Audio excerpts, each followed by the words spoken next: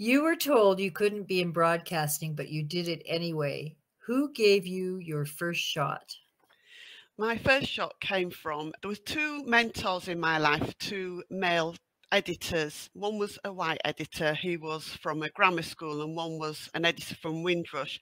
And they both saw this 16 year old girl and thought, yep, she's got some talent there. And they gave me my first break. My first break, ironically, came from a newspaper in London called the Caribbean Times. And I was 16 at the time, and I wrote a comic strip and it was a comic strip about a young teenage girl and it was very empowering it was about her journey as a teenage girl and and the ups and downs of being a teenager and what she went through and everything.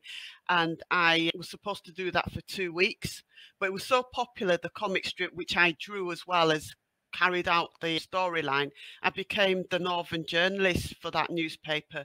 But back in Yorkshire, another journalist and editor gave me a chance to write for their teenage page as well. So those two individuals, those two men gave me my first break at 16. They saw something in me, but I was later to find out just before the pandemic that the first editor in Yorkshire said when he saw me at 16, I had actually had a briefcase because I thought that's what journalists had. So I went to, to see him with a briefcase. and um, a plastic bag with my sandwiches in. And he looked at me and thought, yes, she's going to be a journalist. And he coached me and he really believed in me. And it really touched me that he looked at my 16 year old self and thought, I know she's going wow. to meet someone.